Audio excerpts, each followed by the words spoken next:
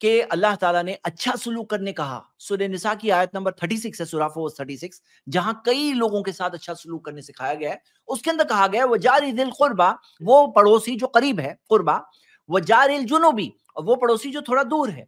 यानी दोनों पड़ोसी, जो करीबी पड़ोसी है और एक जो अनजान पड़ोसी होता है, दोनों के साथ अच्छा सलूक करने कहा गया। नाश करने नहीं कहा गया।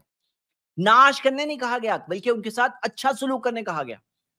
और यहाँ तक आके Abdullah bin Amr bin Alas Ruma जब उनके घर में कुर्बानी होती थी तो अपने सर्वेंट को कहते थे, अपने खादिम से कहते थे हदई तलीजारिन यहूदी क्या तुमने हमारे यहूदी पड़ोसी को दिया उसमें से? जो गोश्त है अच्छा खाना है, बेहतरीन खाना है, क्या तुमने पड़ोसी को दिया? और उन्होंने फरमाया, नबी सल्लल्लाहु वसल्लम की हदीस है, मा ज़ाला जिब्रील यूसीनी बिल जारी, हत्ता जननतु अन्नहु सयौरिथुहु कि उन्होंने कहा कि नबी सल्लल्लाहु अलैहि वसल्लम ने फरमाया कि जिब्रील मुझे पड़ोसी के हक के ताल्लुक से नसीहत करते गए करते गए, वसीयत करते गए, यहाँ तक कि मुझे ऐसा लगा जैसे कि विरासत में हक मिलने वाला है।